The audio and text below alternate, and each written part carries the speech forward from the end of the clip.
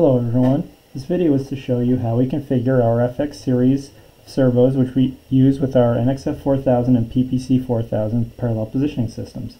First of all, we have three sizes that you can choose from depending upon your application. The first is the FX04, which is a 3 foot-pound servo. That's what we have here. These servos are part of our NXF 4000 training kit. The next size we have is FX20, which is 15 foot-pound, and we have FX50, which is 37 foot-pound. We also have another option, which is a dash 1 at the end of the part number, for a quick disconnect fitting. If you use the quick disconnect fitting, it allows you to use pre-made cables to connect the servos together in your installation.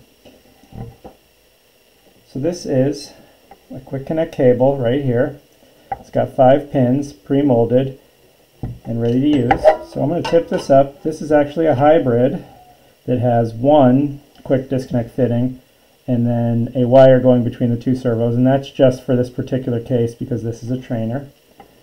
To use the quick disconnect fitting we simply slide it over and we screw it down. And these come in a couple of different pre-made sizes or you can also get the wire and fittings and make your own. It's a great way to make it easy to connect and disconnect the servos.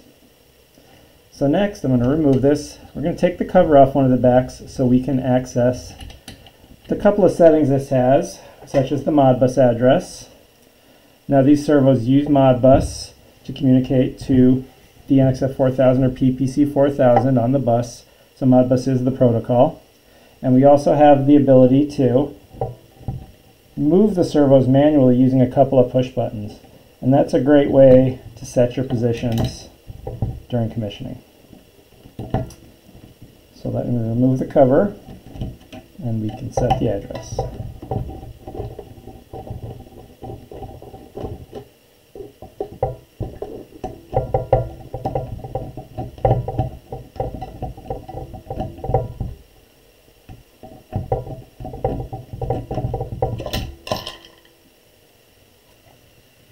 So now that we have the cover off, we can change the address.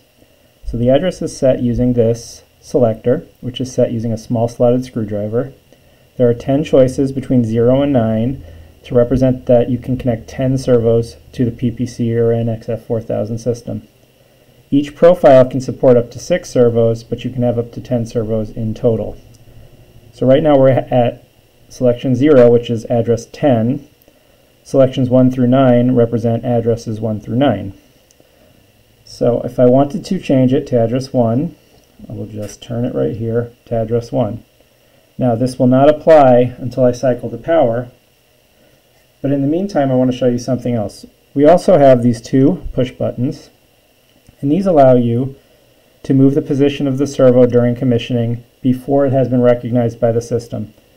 So while it's powered and not discovered yet, you can actually use these push buttons to move the position of the servo manually and say you would want to set your position before you lock down a coupling you can use those buttons to do that.